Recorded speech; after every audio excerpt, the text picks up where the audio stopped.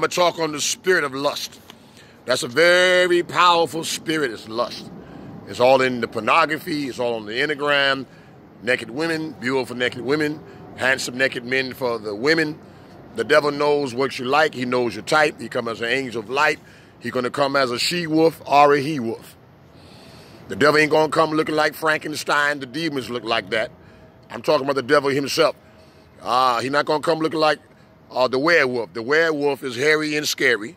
Frankenstein is green and mean. Uh, zombie. Women don't like Frankenstein and women don't like uh, hairy, scary werewolf. But they love Dracula. I believe Dracula is the worstest creature out of all the monsters because he's a leader. He got the black cape, got the deep Barry White voice. Here I come to suck your blood. Remember Blackula and Dracula? Dracula was the white vampire and Blackula was the black vampire. I come to suck your blood. Women love Dracula. He had the acid. He knew how to put women under hypnosis. He had that charm. Then when he sunk his teeth into the women, they became vampires. Well, that's much like the devil. The devil is psychological. He likes to use the spirit of lust. Now, you may think you're in love, but you're really only lusting after the beauty. Now, God made all women to be beautiful. God made Esther. Now, Queen Vashti had the beauty on the outside, but she did not have the inner beauty. That's why King Ahasuerus got rid of her, and he got Esther. The name Esther means star. She had the inner beauty and the outer beauty. She was a holy woman of God. Now, many of you may think you are in love with that woman, but you're only in lust. You may think you are in love with that man, but you're only lusting after his muscles and his six pack. Yes, it looked good, but that's just the physical attraction. Why you think a lot of women, you know, women ask me, Preacher Warren, I don't understand. I have a handsome man in my life. I don't understand why he cheating on me. I mean, I satisfy him. I cook for him. I mean, what's wrong with me? Well, if he's only lusting after your body, oh yeah, he's going to be lusting after other girls too, who just as pretty as you are, because he really do not love you. He doesn't love the inner you. He does not love the inner beauty. He may think he do, but he's only in love with your looks, how pretty you are. So there's other women who just as pretty as you are. He gonna be lusting. It's lusting. He's lusting after your body. All he wants is just the sex. That's why he flirts with other girls behind your back. I'm just keep it real. Same thing, vice versa. She just marry you for your money. Yes, the man has to have money to take care of his wife and children. That's a man's job to take care of his wife and children. But there's times you may lose your money. If she stop being a honey, then she really never love you from the get-go. She just only love you for your money. She's a gold digger who wants to push the trigger. Amen. And she stopped being a honey because now you done lost your money. Then that's then that was not really love. She just loved your bank account. She just loved your bank account. But she did not she did not love you. That's why she hopping from one man to another man who got more money than you. So many of you think you are in love but you really are just in lust. Difference between lust and love.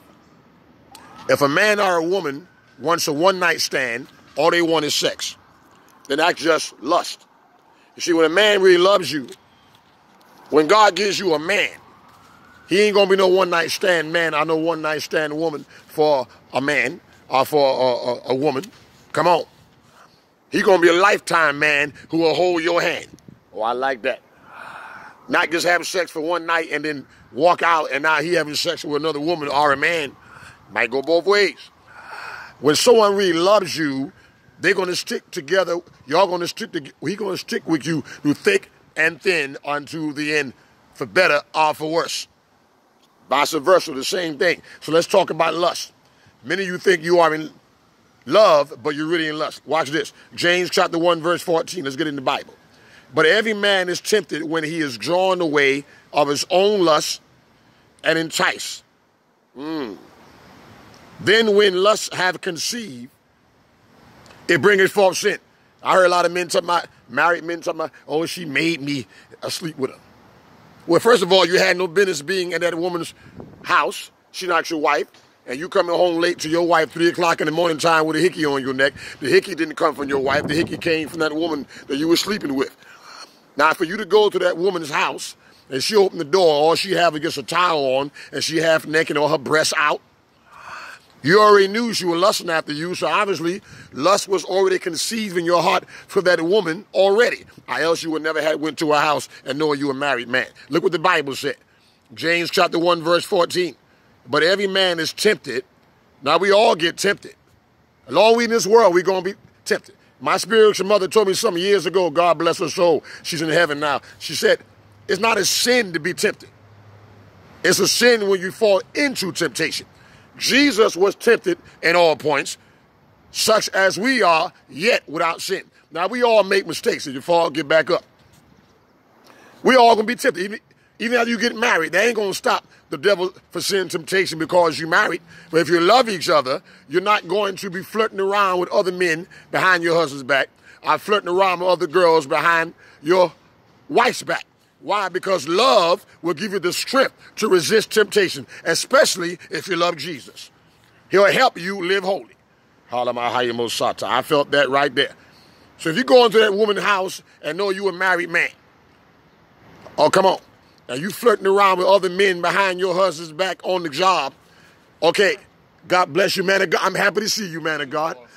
Say something to the folk of YouTube land before you go around the world about the Lord. bless everybody. Yes. You know what I mean?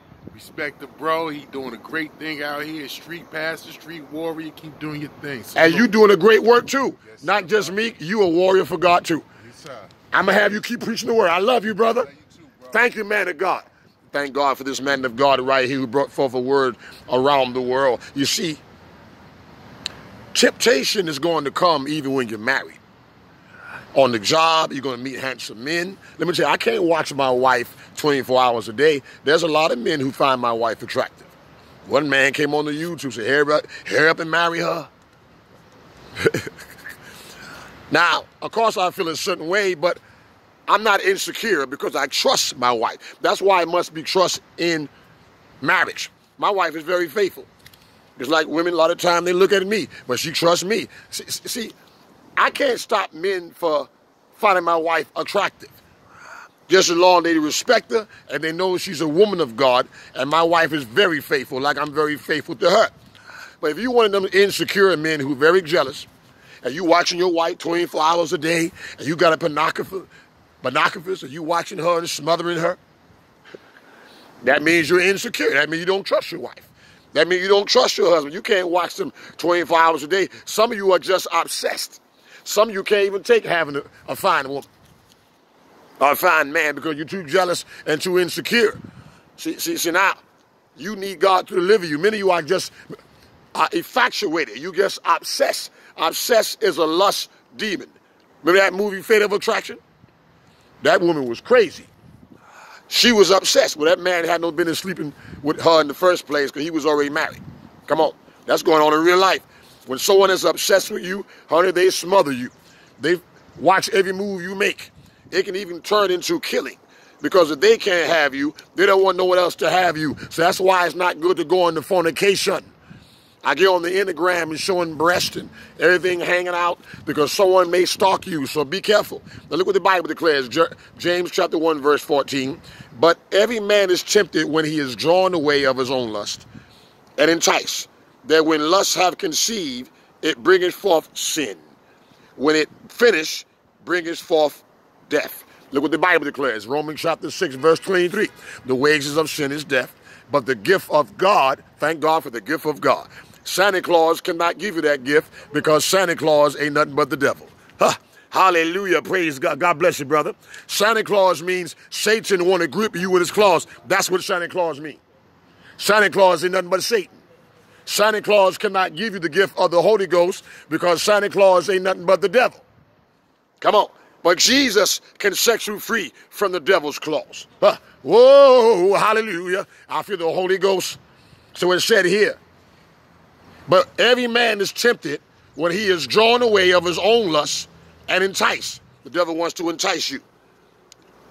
Look how Samson was enticed by Delilah to find the streak of his great strength. Look now look what the Bible said in Judges chapter uh, 16, verse 4. And Samson loved the woman in the valley of Sorek, whose name was Delilah. Now, did the Bible ever say that Delilah loved Samson? No. Did the Bible ever say they was in love with each other? No. It just said Samson was in loved Delilah. It didn't say she loved him. Because if Delilah really loved Samson, she would never had set him up. Because love don't sex you up, love builds you up. Watch this. Proverbs chapter 14, verse 1. The Bible said, the wise woman builds her house, but the foolish pulls it down with her hand. So we asking God for a wife, ask God for a wise woman. We asking God for a husband, ask God for a wise man. Now read the book of Proverbs 24, verse 25. No, Proverbs chapter 25, verse 24. It said it's better for a man to be in the corner of a rooftop rather than deal with a brawling woman who like to fight. And that's the wrong one right there. Because now she want to pick fights and cause you to go to jail. Okay, iron's supposed to sharpen iron. You're supposed to bring the best out of each other, not the worst out of each other. Praise the Lord. To ask God, say, Lord, deliver me from that lust. Set me free from the lust and fill me with the power of the Holy Ghost. If it fell like David, then just get back up and repent. That's a key word, repent. It means to turn away from sin with godly sorrow. Not just ask God forgiveness and then keep committing the same sin, then that's not repentance. If you're really sorry for what you did, you don't do it no more. If you tell your wife, honey, I'm sorry for cheating on you. I mean, she made me do it. No, she didn't. Lust was already conceived in your heart already, according to James chapter 1, verse 14. Stop blaming her and blame yourself and say, Lord, it's me, oh Lord, it's me, oh Lord, standing in the need of prayer. Same thing with you women cheating on your husband. Okay, you got to look at yourself. We have to judge ourselves. Praise God. If you say to your wife, I'm sorry for cheating on you. If you're really sorry, then you don't do it no more. You don't go back to that same woman back to her apartment having sex all night and getting hickeys. And know your wife didn't give you a hickey. Oh, come on, can I keep it real? Praise the Lord. So when you make a change, you don't go back to that woman no more and have an affair with her. And even vice versa, I have an affair with that man. I have an affair with your husband's brother. See, repent means to make a change. Stop. Turn away from sin with godly sorrow. That's what repent means. You don't tell your wife, well, I'm sorry for beating you up and you still beating her up. That means you're not repenting. If you're really sorry for abusing your wife, then you don't do it no more. That's what repent means. Husband, love your wife as Christ loved the church. Women, love your husband. Don't be a gold digger. Love your children. Do not protect your child and do not molest your child. Repent. Stop. Now, you must give that woman time to forgive you. Forgiveness not always easy. Because now you done betrayed her trust. She expected you to be faithful. He expected you, woman, to be faithful. Now you talking about, well, forgive me, forgive me, forgive me. I mean, everybody makes mistakes. Okay, that that don't sound sincere. That don't sound, I don't hear no sincerity in that sorryosity. Because now you expect her to get to take you back because you want to live off her welfare check and don't want to work and don't want to pay no child support. You living off her welfare check, pay the child support, be co-parents. But many of you just want to marry that woman for money or you marrying that man for money. But you don't want to stop your mess. So you don't just go telling her, oh, I'm sorry, I'm sorry. I made a mistake, okay? We all make mistakes. Take me back. No. She don't trust you. She don't trust you. Difference between love and trust. The reason why she's hurt because she loves you, but she don't trust you because you betrayed her trust. Now you must give her time to heal. Same thing. Give him time to heal. Now some will never heal. That's going to take God to heal you. It don't mean to keep going back to that woman or man because if they're not changing, they don't want to repent. Don't get your heart broke over and over. Jesus wants you to love yourself like you love others. That's why he said, love thy neighbor as thyself. Praise the Lord. So I'm going to say a prayer of faith. Most of all, love Jesus more than you love anything. Me and my wife love each other, but we don't worship each other. My wife love me, but she don't worship me. I love her, but I don't worship her. We love each other, but we love Jesus more than we love each other because God comes first. God said, I'm a jealous God. Thou shalt not have no other God before me. If he's the one who delivered you, then he's the one who should be loved. He deserves to be loved. He deserves to be worshiped. Not just praise him to get a raise, but praise him because he deserved the praise. When the praises go up, the blessings come down. Whoa, hallelujah. I'm not ashamed of the gospel of Jesus Christ. For it is the power of God and the salvation unto everyone that believes unto the Jew first and also to the Greek. God bless you.